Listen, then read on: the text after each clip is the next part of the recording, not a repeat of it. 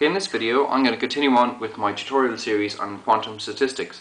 This is multiplicity rule number 5, the previous video is rule number 4, and this is lecture number 9, or tutorial number 9. Now just, just to say it, I've said in the past that these rules, or the way I've broken them down, is arbitrary. I've just chosen to do it that way, for convenience. So you won't go finding rule number 4 if you, if you Google it, let's put it that way.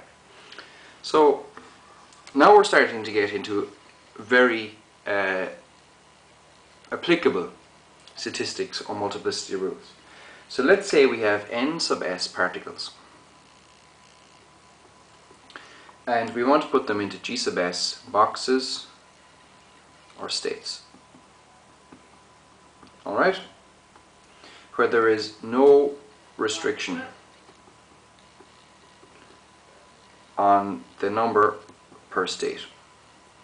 Okay, so if there's no restriction on the number per state, we know immediately that we're talking about either classical particles or bosons.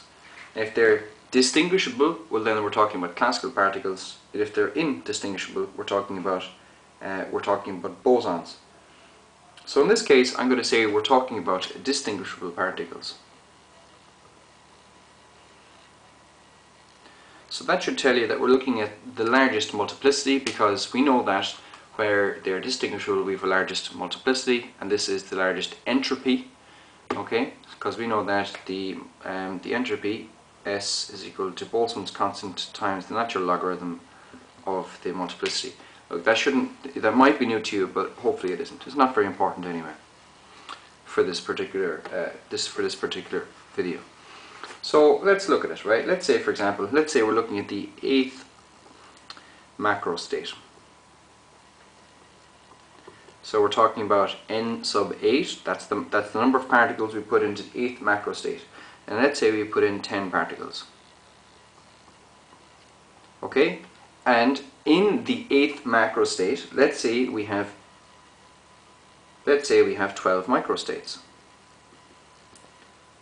Okay, so there are plenty of ways of visualizing it and in a previous video I did it in a couple of ways but let's say there's the first this is this this s is equal to 1 s is equal to 2 the whole way up to s is equal to 8 and there s is equal to s.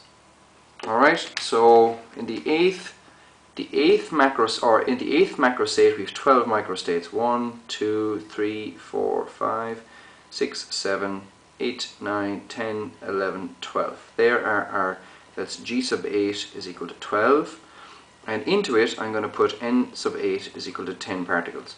So I'm going to put 10 particles into 8 microstates in the uh, 10 sorry 10 particles into 12 microstates in the 8th macro box. so uh, if you really want I suppose you could put a large box out here and say this is the total. So I don't know that might be confusing. Hopefully it's not too confusing. Okay. So let's go. So we have n sub 8 is equal to how do we talk about n sub 8?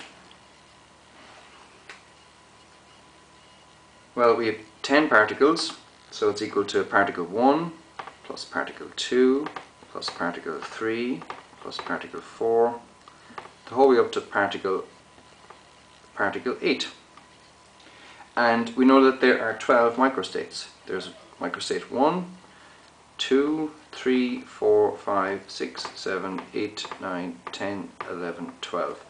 There is uh, number 12, uh, 11, 10, 8, 7, 6, 5, 4, 3. Alright, so I want to put each of these particles here into each these in, into some of these boxes here where they are distinguishable and there is no restriction on how many particles can go into each box.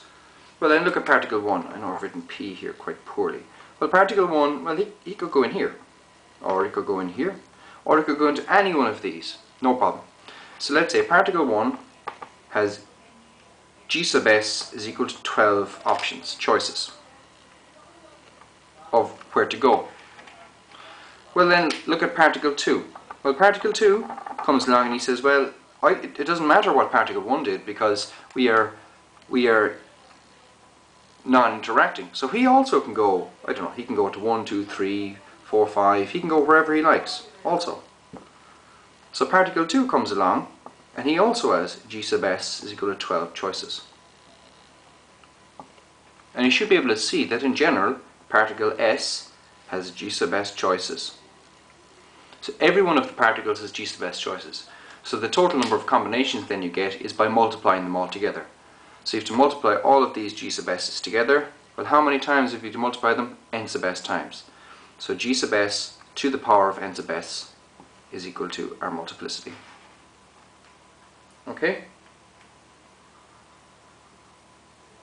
So each of those particles can be put in any one of the g sub s states. So there we go. Now, so just to rewrite that then, to rewrite that, so each macro state number s with n sub s particles. Oh I know I'm writing at an angle there. With n sub s particles and g sub s microstates okay? Has g sub s to the power of n sub s multiplicity for each macro box. For each macro box.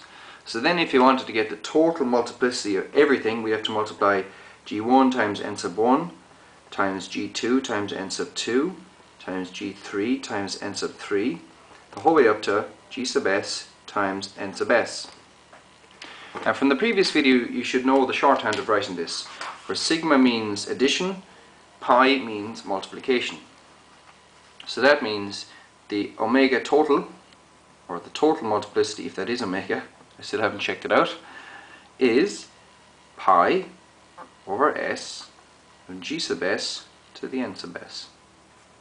And you should know that that's quite, or should seem that that's quite a large number, because that's in fact what it is. Okay, so that's all I've got to say about that. Thanks for watching. Please pass it on to your friends, subscribe to my channel, and if you're in a good mood, please click on an ad.